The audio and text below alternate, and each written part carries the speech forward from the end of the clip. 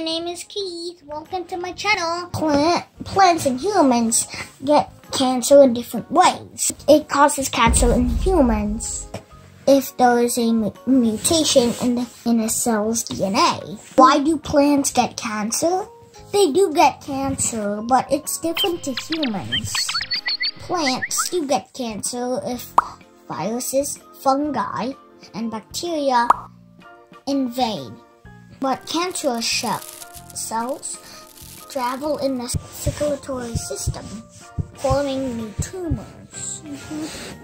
But that doesn't happen in plants because they don't have a human-like circulatory system. Instead, they have rectangle-like squares. And cancerous cells don't spread. It's, and lastly, it's not fatal doesn't kill the plant. Humans, you die if you have cancer. I don't know if I'm sick, Mommy. Am I sick? No. Like and subscribe. Thank you for watching.